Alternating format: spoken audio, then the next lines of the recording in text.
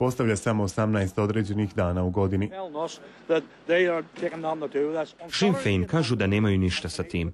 Pa oni su napali paradu u subotu, napali su i sinoć. Oni to uvijek rade za vrijeme ovih protesta oko zastave. Oni će razvojiti našu zajednicu, naše društvo i držati ih podijeljene.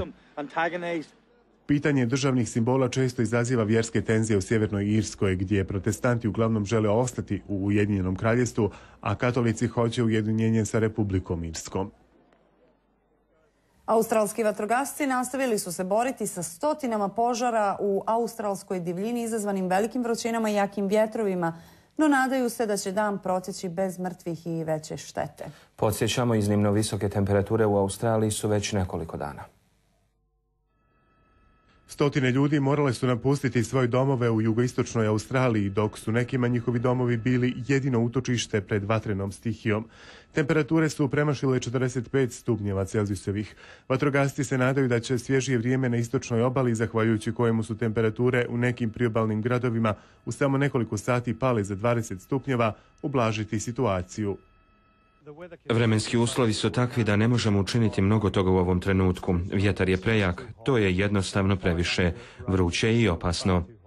Predsjednik vatrogasaca države Novi Južni Wales, Shane Fitzmons, istaknuo je da novi požari dalje izbijaju, upozorivši da predaha neće biti još nekoliko sati, te da će potrajati samo nekoliko dana prije nego se vrati vrućina praćena toplim vjetrovima. Katastrofalna situacija odgovara ono iz 2009. kada je u požarima na Crnu subotu u državi Viktorija poginulo 173 osobe, a šteta je procijenjena na 4,4 milijarde američkih dolara. Neki dijelovi su za sada ipak pod kontrolom. Mi smo puno bolje, sada smo izvan zone opasnosti, ali još razmišljamo ljudima koji nisu na sigurnom. Nakon tjedan dana velikih vrućina požari haraju u pet od šest australskih država, a u najnapučenijem Novom Južnom Velsu i šumama oko australskog glavnog grada Kambere zabilježeno ih je više od 137. Gotovo stotinu kuća, većina na istočnoj obali Tasmanije, uništeno je, a mnogi ljudi se i dalje smatraju nestalima. Demokratski kongresmen podnio je prijedlog zakona o ukidanju ograničenja mandata predsjednika što bi omogućilo da Barack Obama i treći put bude na čelu Sjedinjenih američkih država. Ograničenje broja mandata uvedeno je u Ustav sredinom prošlog stoljeća poslije četvrtog mandata Franklina Roosevelta. Američki demokratski kongresmen Jose Serrano podnio je prijedlog zakona za ukidanje 22. amandmana prema kojem predsjednik može da služi najviše dva mandata na toj funkciji. Kongresmen iz Njujorka podnio je u petak predlog zakona odboru za pravosuđe predsjedničkog doma, ali ne očekuje se da će dokument biti usvojen pošto je za promjenu Ustava nužna podrška Doma i Senata kao i 75% američkih saveznih država. To nije prvi put da Serano pokušava da progura ovaj zakon u kongresu, to je bezuspješno, već pokušava da uradi sedam puta u protekli 15 godina. Ideja o ukidanju 22. amandmana imala je pristalice i u demokratskom i u republikanskom taboru, ali nikada u dovoljnoj mjeri da bi zakon i bio usvojen. Slične prijedloge podnosili su i drugi kongresmeni, a javno su i podržali pojedini predsjednici poput Ronalda Regana i Billa Clintona.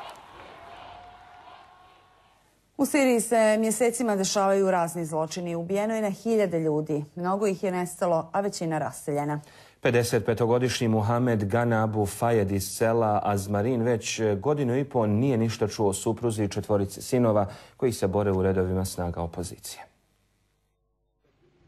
Abu Fed proživljava dramu u porušenoj radnji u kojoj živi nakon što mu je uništena kuća u toku sukoba snaga odanih režimu predsjednika Bašara al-Asada i snaga opozicije. Živio sam sa porodicom mirnim i sretnim životom, međutim počeli su nemiri koji su remetili taj naš mir, ali smo mi i uprkos tome baveći se svojim poslom lijepo živjeli. Jednoga dana dok smo sjedili u kući došli su Asadovi vojnici.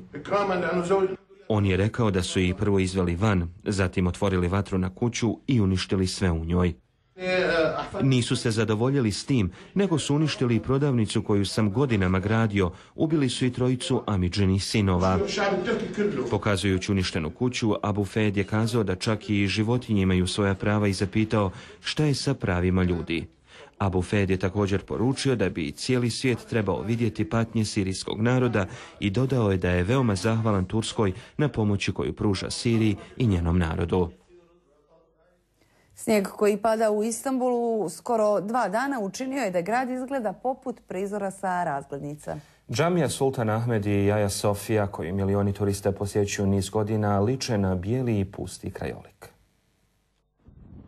Povijesni poluotok izmamio je turiste s fotoaparatima u rukama koji se nisu obazirali na hladnoću. Vječne uspomene iz Istambula, galebovi, golubovi, ribari i gradske linije trajekta također će se naći u njegovu zimskom albumu. Prodavači tradicionalnog peciva, simita, taksisti i smetljari izašli su jutro rano na ulice kako bi zaradili novac za kruh.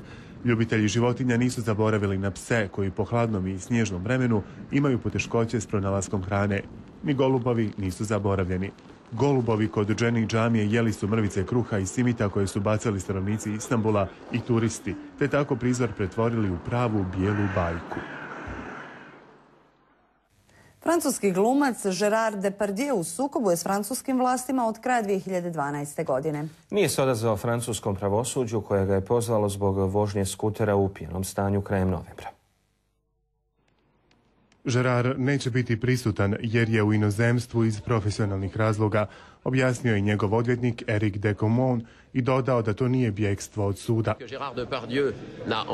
Gospodin Depardieu odazvat će se sudu u Parizu. Ja sam podsjetio suce i potvrdio mu to danas da moj klijent ne odbija doći i susresti se sa njima, niti pobjeći od sudskog procesa. Nada se da će novi datum odgovarati svim stranama i da će objasniti situaciju. Gerard Depardieu je na zlu glasu u Francuskoj jer je odlučio nastaniti se krajem 2012. u Belgiji iz fiskalnih razloga, odnosno poreza. U subotu je stekao rusku putovnicu, a ponedjeljak je proveo u Švicarskoj, sudjelujući na gala večeri dodjele zlatne lopte u nogometu.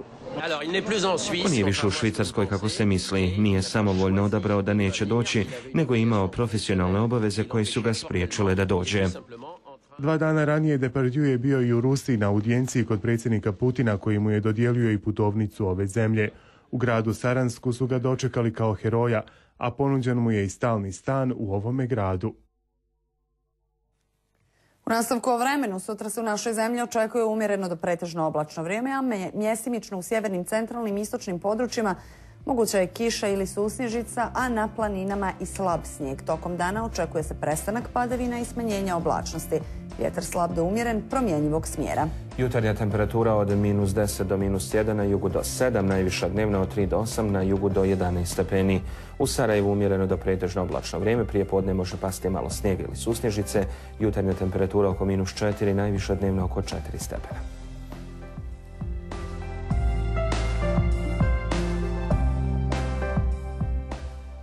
Pred kraj još samo napomena da i večeras budete uz našu emisiju In Magazin u 19 sati i 15 minuta. Vještići je kolo u sred Hrvatske i to je moguće. Giuliano snimio novi album, a slijedi i prvi spot. Vanja Mamić, žena drugog čovjeka Dinama. Dobar somun može popraviti i najgore ćevape. A snimak naše centralne informativne emisije pogledajte na našem web portalu obn.ba.